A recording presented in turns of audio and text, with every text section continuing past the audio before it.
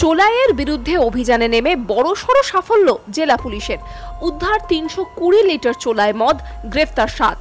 দুর্গাপুজোর প্রাককালে চোলাইয়ের বিরুদ্ধে অভিযানে নেমে বড়সড় সাফল্য পেল পূর্ব বর্ধমান জেলা পুলিশ। বুধবার রাতে মেমারি থানার রসুলপুর ও মণ্ডল গ্রামে অভিযান চালিয়ে তিনশো কুড়ি লিটার চোলায় মদসহ সাত জনকে গ্রেফতার করে মেমারি থানার পুলিশ। বৃহস্পতিবার ধৃতদের বর্ধমান আদালতে তোলা হয়। পুলিশ সূত্রে জানা গেছে, গোপন সূত্রে খবর পাওয়ার পর বুধবার রাতে মণ্ডল গ্রামে অভিযান চালিয়ে একশো উনচল্লিশ লিটার ও রসুলপুরের কালী মন্দির এলাকায় অভিযান চালিয়ে একশো একাশি লিটার চোলায় মদ উদ্ধার হয়। এই ঘটনায় মোট সাত জনকে গ্রেফতার করা হয়।